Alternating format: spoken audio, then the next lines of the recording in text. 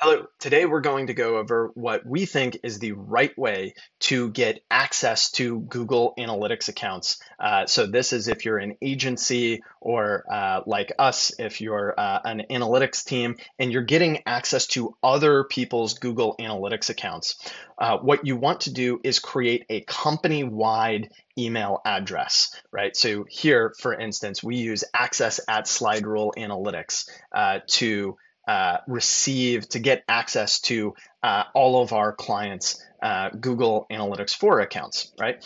Um, so super common if you're an agency, you want to make sure that you have uh, an email address, a general email address, company-wide email address that everybody who needs to at your company can get access to uh, your clients' uh, Google Analytics 4 accounts. That is a super common pattern, um, but uh, there's often a problem.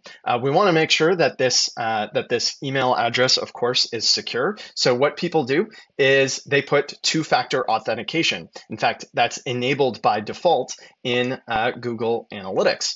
And so if we log into Google Analytics, I'll just use this email address as an example. Uh, what you probably find is that when you enter in your password, right? Cool. You'll see here that it says, all right, uh, go check your device. This is the default way to authenticate Google. The two-factor authentication or two-step verification for Google Analytics is, of course, this is my email account, so I could go ahead and pull out my phone, go to Google, and approve this request. But for our company wide email addresses, this creates a problem because one person has access to this two step verification. The same thing is true if you have a phone, which is the second most common way, right? So if you have a phone number, usually that's one person. Very few people have a a company wide phone number that can receive text messages. So the text message often goes to one person's phone. If that person is on vacation, which is the whole point of having a company wide account, is to prevent uh, the issue where one person's on vacation and nobody can access a client's Google Analytics account. Um, then uh, it's going to be difficult to get this two-step verification. Oftentimes, because it times out, you have to like plan a meeting just to get access to an account. It happens all the time, uh, and a super big barrier to getting things done in Google Analytics. So I'm going to show you the workaround, right? And we'll skip right to the end, and I'll show you what it looks like for us when we do this. We use 1Password uh, to share passwords across uh, our company, but um, but any any uh, any uh, password manager will be able to do what I'm about to do, but 1Password is my favorite personally. Um, so in this case, I go ahead and I enter the password like that. I enter my regular password, and now it's asking for two-step verification, and it's saying, hey, go check your device. But I'm going to say, try another way.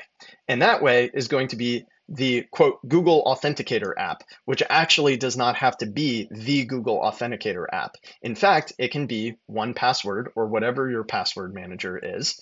You can do it from here. And you can see that the 1Password has tracked my one time password, and I can just enter it in like this, and it will take me to my Google Analytics accounts just like that. So I didn't have to uh, I didn't have to pull out my phone, right? Uh, I didn't have to receive a text message or anything like that, which not a big deal for your personal accounts, but a super big deal for these company wide accounts because it defeats the whole point if Bob is on vacation uh, and Bob is the one who receives the text message, or Bob is the one with the Google account on his phone, and nobody can get a hold of him, then you won't be able to access the accounts. All right, cool. So uh, let me show you how you can set this up because it's not set up by default. So, first things, are to have access to a Google Analytics account, your email has to be either a Gmail account or it has to be managed by Google Workspaces, right? Um, so if you use Microsoft and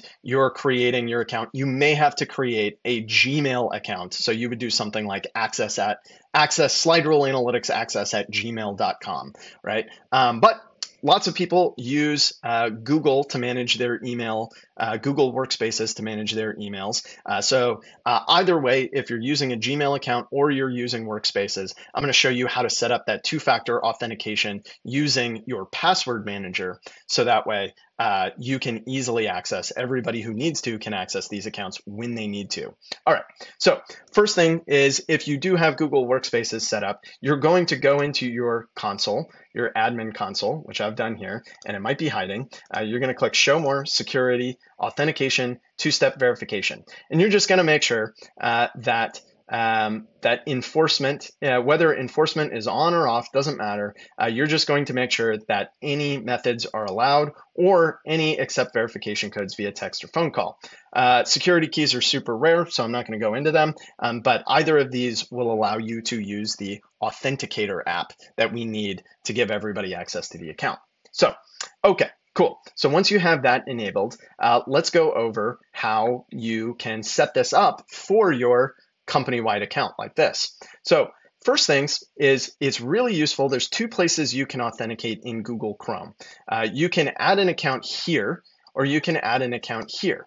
The difference between these two is that this is the actual browser level, whereas this is just the account level. So this is like if you want to switch accounts all the time. So I think I have, you know, my personal one is here and here, right? Uh, so if I wanted to open Google Analytics as Kevin at Slide Rule Analytics, I can do it here while the Chrome browser remains logged in to access at slideruleanalytics.com.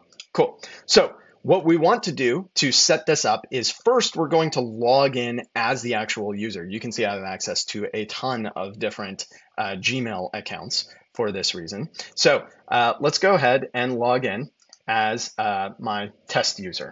So that is test at kevincmclaughlin.com. Cool. Click next. I'm going to use, of course, uh, my password manager to log in. Cool. I use my password manager over here, which is 1Password to log into this account. Great. All right, I click next. Yeah, yeah, okay, I'm in. Cool. All right, got it. I don't need a Chrome tour, right? And I would call this test because that's the name of this account right here, test at kevincmclaughlin.com. Okay, cool. So now what I'm going to do is I'm going to log into this profile so I'm going to go manage my Google account. And this is why it's nice to have it up here and not down here. You can do it in both places. Uh, it's just a little bit uh, lower friction to actually log into the Chrome account and it makes it easy to access it again uh, from here. So let's do it. Uh, I'm going to go manage my Google account. Great. And I'm going to go security. All right. And two-step verification. Get started. All right and then it's going to make me set up a phone number. So uh, I'm going to first do, uh, I'm first going to enter in my phone number. Cool. So I entered in my phone number and Google sent me a account like that. Click next. Cool. And then I'm going to turn it on. Now I'm going to set up another one that is uh, the Authenticator, the Google Authenticator app.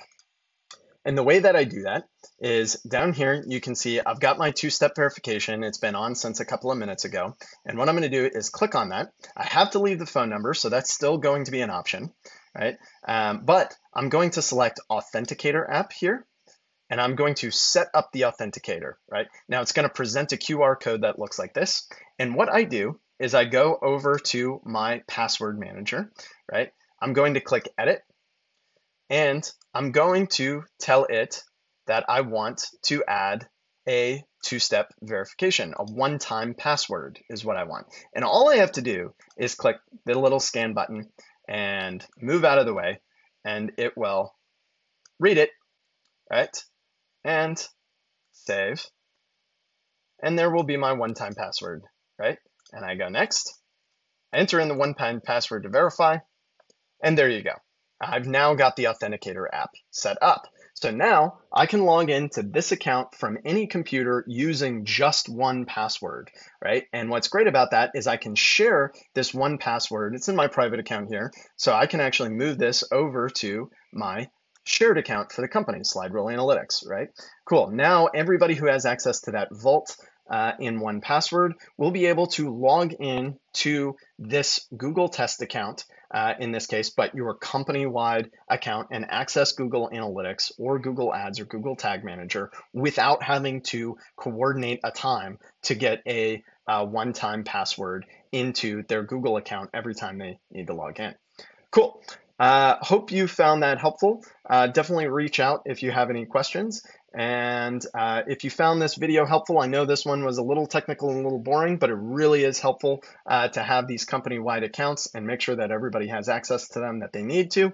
Um, so even though this one was a little technical and boring, we do post lots of videos about Google Analytics, how to make it more helpful, how to get reporting out of it on our YouTube channel. So definitely subscribe uh, to the channel if you found this video helpful. Thank you.